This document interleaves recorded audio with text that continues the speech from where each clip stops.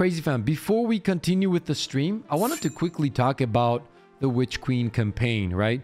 A lot of people are asking, is it worth it? Is it should I get the game? Is it worth trying at all? How does the campaign feel? What's happening after and all that? First of all, I want to talk about the campaign real quick because I've done it on Legend and I've also pretty much spent a lot of time on all the other new activities both of the six man activity and the three man activity. So I spend a lot of time playing the game. First of all, I want to go over the campaign real quick. One of the best things that I like is the progression. So when you're actually playing these missions, right, there's li these little kinds of checkpoints, which you kind of end up at the chest, you get some loot, and you also get the modules which help you to infuse your gear so you're not at all times flying to the tower and all that. I know this is a, like a little thing, but at the end of the day, what happens is these little things really make a difference.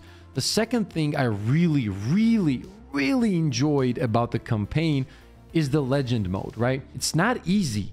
And that's what made it really cool for me personally. Because at some point when we play through these campaigns, guys, it almost feels like they don't have any weight to it, right? You would just rush through the campaign none of the bosses really made a difference. You didn't give a shit. You would just melt them in a matter of seconds. Like you, you would destroy them. And that was it right there. I wanted it to be more impactful. Like I would play the campaign and I'd be like, I'm at the final boss, but it really doesn't it really doesn't feel like it's the final boss. You know what I mean? Does that make sense? It's just you just get him out of the way in like half a minute, he's dead, and boom, the story's over. But this time, when you play through the legend, legend version of the campaign, man, it takes time, it takes strategy. And this brings us to the story. In my humble opinion, this is the first time after Taken King that they managed to really, really nail the story. Was Forsaken good? Yes, but the reason Forsaken was good was because it was built around one of the best characters in the game, Cayde, and it was like an emotional thing, right? I still enjoyed that story a lot, but with Witch Queen, everything, and I mean everything, had just so much weight to it that it was crazy. I don't want to, you know, spoil a lot for people that haven't played it, but there's a really cool cinematic at the end that makes a lot of sense in terms of the story. And you're like, the, the story ends and you're like, holy shit, that was cool. I, I want to do that again. Another thing is the missions weren't just, you know, get from this point to another and that's it. Before Witch Queen would just rush through missions. Now there are, as mentioned, those checkpoints and we have these light bearer hives and the whole thing just is so, so cool. Design of the character of the light bearers is absolutely phenomenal in my humble opinion, right? The sounds they make, the way they look, the way they move, the, they pop the supers, absolutely destroy you.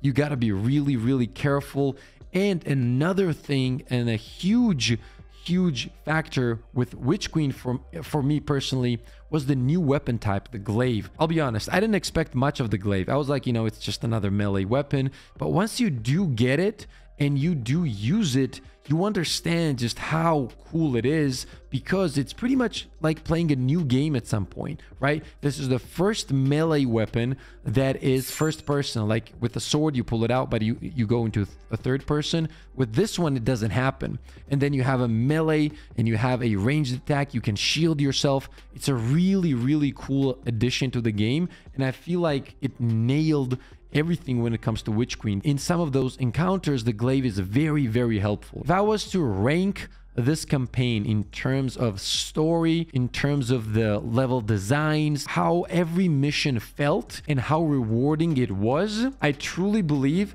it was better than anything we've had before this. Hey, Saki, what up, man? Thank you for the 499, man. I appreciate that. Moon is selling it. Another thing, and I, I, I can't move on to the next topic without mentioning this, obviously, because it is a part of the campaign and it is a huge part of Witch Queen in general is the crafting system. Dude, listen, I've been playing MMOs all my life, guys. I, I really have. I absolutely love MMOs right now. I'm playing tons of Lost Ark and I love every second of it, right? Actually, I might be too addicted. But that said, Listen up. This crafting system, when they announced it, I, I always remembered the crafting. They called it crafting in Osiris, the, the expansion of Destiny 2, one of the expansions, one of the first expansions. And it was horrible. It had nothing to do with crafting, and it was just not good at all. It was such a big disappointment. And after that, I was like, they will never get the crafting done correctly. That was literally my thoughts. And I didn't really have any expectations for this one. So I was going in with the mindset of, you know, it's a new addition to the game. It can't be worse than Osiris, which it, it would be really hard to make it worse than that crafting system or well, they called it crafting system, but it really wasn't. So my expectation, as mentioned, was pretty low.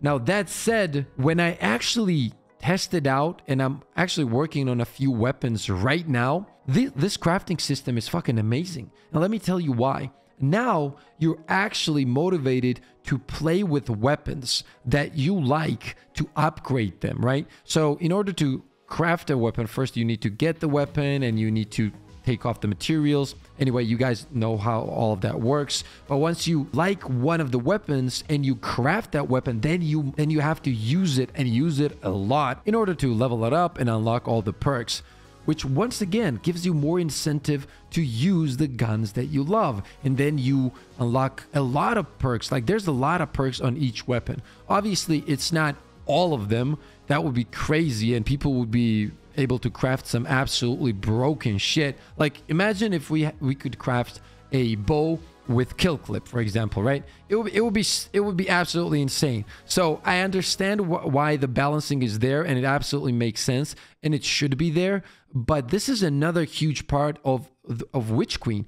And once again, man, if you take a look at the full picture, from a player that has spent a lot of time already on this on this expansion i gotta say in my humble opinion once again this feels like the best expansion they've ever made and i've not even played the raid yet. I am definitely gonna make a full witch queen review after i get to play the raid and then give it some time and get a good feel of the you know whole game as such and then i'll make a full review on all of this. But at the moment once again, if I was to rate this expansion, I would probably put it on top of any other expansion in terms of story.